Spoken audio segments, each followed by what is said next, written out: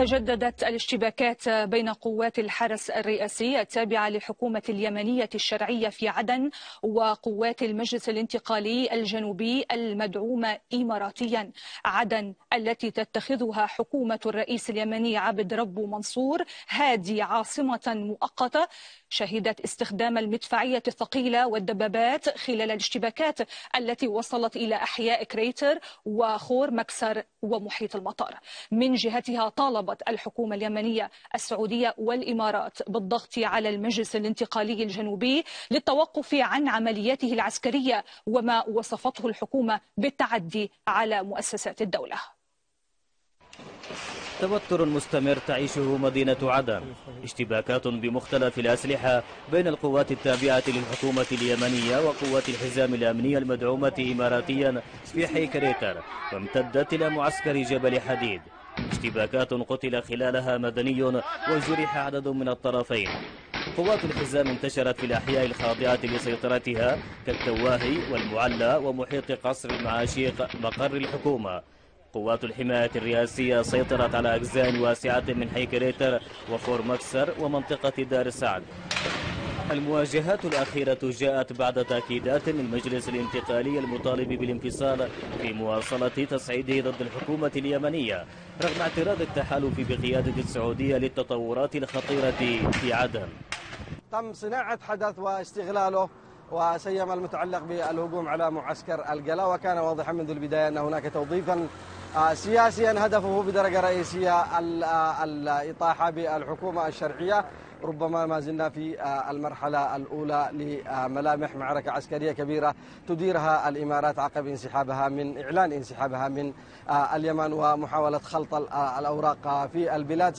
تصعيد المجلس الانتقالي استنكرته مكونات رئيسية سياسية تابعة للحراك الجنوبي وحذرت من الخروج المسلح والاقتتال الجنوبي الجنوبي بالإضافة لقوى عسكرية كمحور أبين وقوات العمالقة في الساحل الغربي. حتى وإن خفت حدة التطورات وعاد الهدوء إلى عدن فبقاء التشكيلات المسلحة خارج إطار الحكومة اليمنية وتباين موقف دول التحالف من تلك القوات في ظل وجود صراع إقليمي برأي كثيرين يفتح بابا لجولات صراعات جديدة. ستجعل الأزمة في مشهد بالغ التعقيد. أحمد البكاري العربي تعز. ونبقى في اليمن إذ أعلن الناطق العسكري باسم الحوثيين العميد يحيى سريع أن الجماعة نفذت هجومين واسعين بطائرات مسيرة على مطار أبها جنوبي السعودية. العميد يحيى سريع أكد أن الهجوم الأول استهدف برج المراقبة في المطار فيما استهدف الهجوم الثاني مواقع حساسة داخله. وأضاف أن الهجومين أديا إلى تعطل حركة الملاحة في المطار السعودي.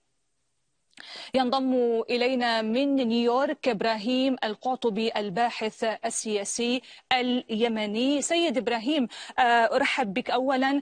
هاني بن بريك عبر تويتر كان قد أعلن النفير العام والزحف نحو القصر الرئاسي إلا أن رقعة الاشتباكات توسعت لتطال أحياء أخرى في عدن. ما الخطة؟ التي يتخذها المجلس الانتقالي وهل يمكن أن يقدم على ذلك من دون دعم إقليمي؟ أنا في اعتقادي أن المجلس الانتقالي أو ما يسمى بالمجلس الانفصالي ليس لديه أي خطة الخطة بيد دولة الإمارات العربية المتحدة والنظام الإماراتي من يمول ويسلح ويعطيها التغطية الإعلامية ويجب أن نسمي الأشياء بمسمياتها من يقف اليوم ضد الحكومة الشرعية في عدن هو النظام الإماراتي من يسلح هذا المجلس ومن يموله. ومن يعطيها الغطاء الإعلامي هي دولة الإمارات العربية المتحدة. فلذلك يجب التخاطب مباشرة مع دولة الإمارات العربية المتحدة ونحن نحملها إراقة الدماء وقتل اليمنيين والتهجير العنصري الذي حصل في الآونة الأخيرة. المال الإماراتي يقوم بتهجير المواطنين من أبناء الشمال في محافظة عدن. المال الإماراتي يقوم ومسل يعني والدبابات الإمارات هي التي بالتفصيل عن السياسة التي تتبعها الإمارات في اليمن خاصة في عدن. في العلن آه، وزير الدولة للشؤون الخارجية أنور قرقاش كان قد دعا إلى التعامل مع الحكومة الشرعية وكذلك التحالف أعلن تأييده مجددا لحكومة هادي.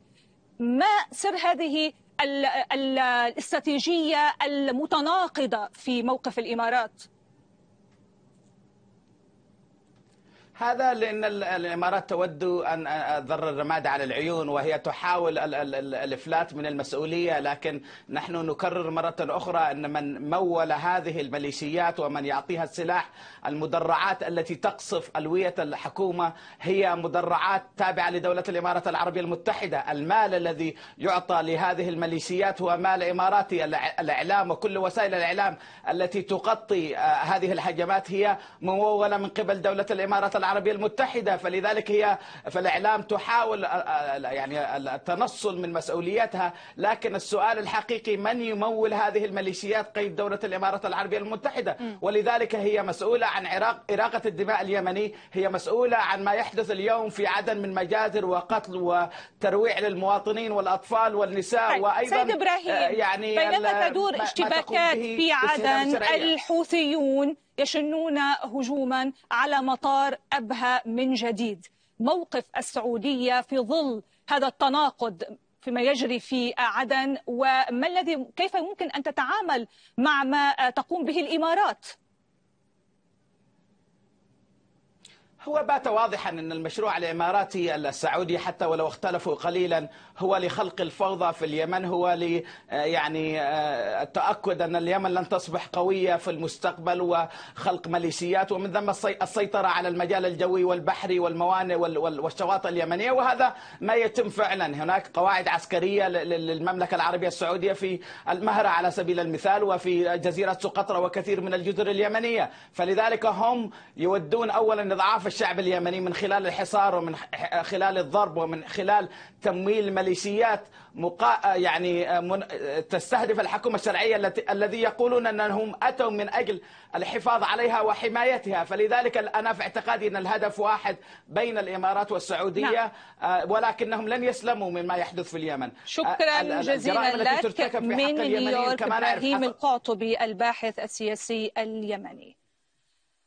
طبعا الاشتباكات ربا في اليمن لها انعكاساتها على مواقع التواصل الاجتماعي. أليس كذلك؟ بالفعل ريما. دعا يمنيون عبر مواقع التواصل الاجتماعي تحت وسم الإمارات تحرق عدن إلى انتفاضة في جنوب البلاد لطرد القوات الإماراتية ومنعها تماما من أي تدخل في اليمن.